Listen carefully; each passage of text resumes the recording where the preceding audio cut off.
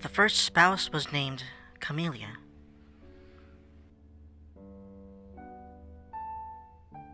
Dear Lord, I can't contain myself any longer.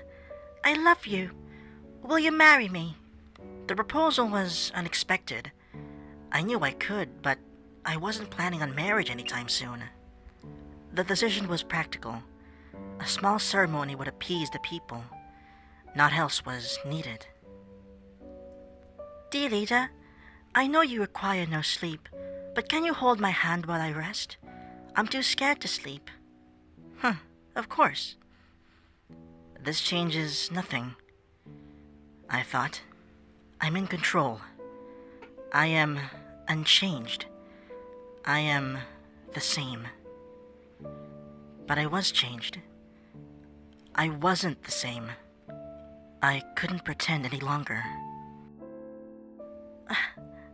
Flower, my lord? I'm honored you'd bestow such a gift to a mere follower such as I. Do I need a reason to give something to my dear spouse? Ah. Uh. Hmm. I didn't know you could make that face. Oh, forgive me. With Camellia, I could let my guard down. I embraced this new life I found myself in. Hmm, my lord? Uh huh. The stars. They're so pretty tonight. I wanted to make sure you saw them. And this life, I liked. We were almost inseparable. But as time passed, it was getting hard to deny the inevitable. Ah, thank you for tucking me in, my lord. Of course. Do. do you think I'll go someplace nice? I'll make sure of it. And then time was out.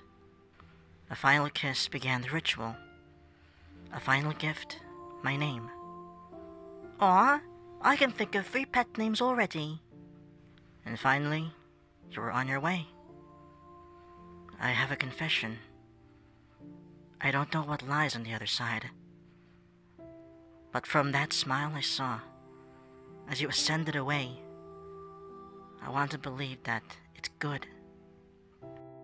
And life returned to normalcy.